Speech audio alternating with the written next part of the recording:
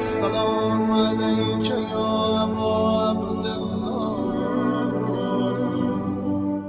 اعوذ باللہ من الشیطان اللعین الرجیم بسم اللہ الرحمن الرحیم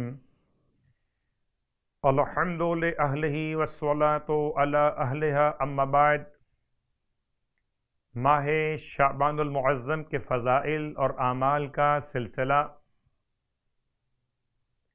مبارک اور مقدس مہینہ اس مہینے میں ماہ مبارک رمضان کے روزے واجب کیے گئے۔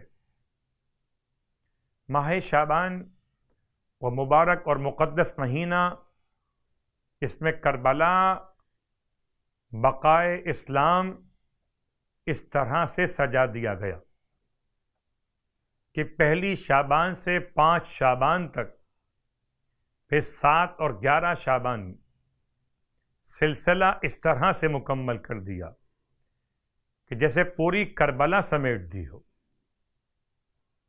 پھر پندرہویں شابان کی شب میں حجت خدا امام زمانہ علیہ السلام کی آمد سے اس مہینے کو مہینہ نجات المستضعفین قرار دے دیا۔ اس مبارک مہینے کے اعمال بہت سارے۔ کچھ اعمال مشترکہ، کچھ اعمال مختص۔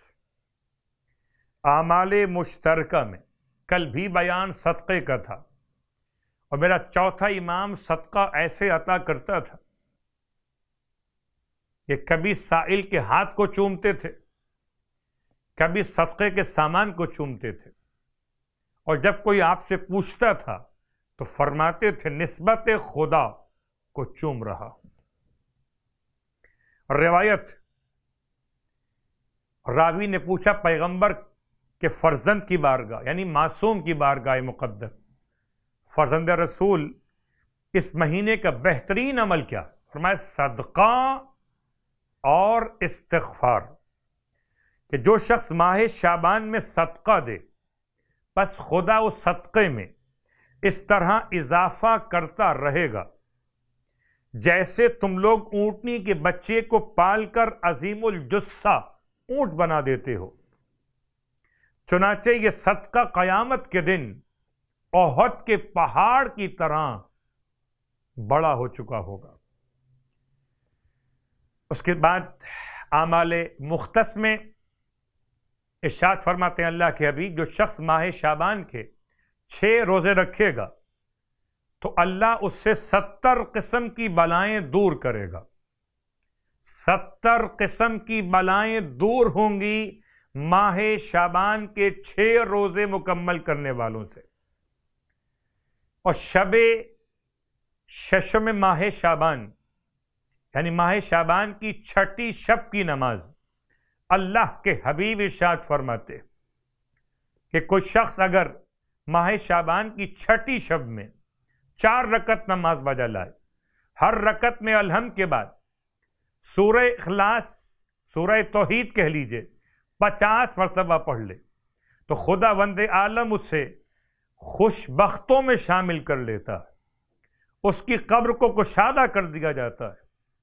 اس حالت میں قبر سے باہر نکلے گا کہ اس کا چہرہ ماہ کامل کی طرح چمک رہا ہوگا۔ اور یہ کہتا ہوا باہر آئے گا اشہد اللہ الہ الا اللہ وان محمد عبدہ ورسول کتاب کا حوالہ کتاب اقبال الاعمال منہاج العارفین وسائل الشیعہ اور مصباح المتحجد خدا ہم سب کو تمام تر اعمال سیام اور قیام کی توفیق عطا فرمائے الہی آمین۔